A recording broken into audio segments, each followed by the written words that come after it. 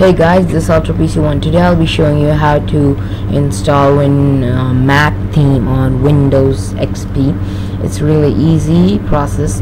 So first of all, you gotta download this over here. This this file. I'll give the link in the description of the download.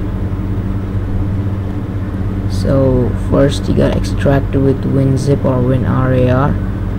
Okay, you gotta make a folder. Okay, let's Mac okay here's the Mac. Let's extract it over there.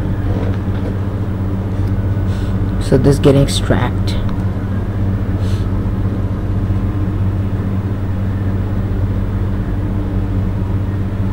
Here you go.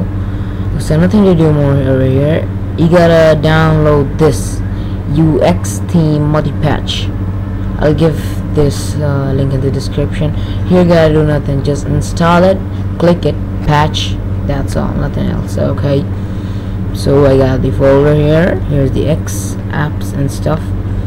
So first when you click it now I already installed it. That's why they're not saying me anything. Or if you don't install it this thing is gonna say you yeah see this thing is gonna say you uh, one report will come. That's not installed properly. So now you gotta do is copy or cut this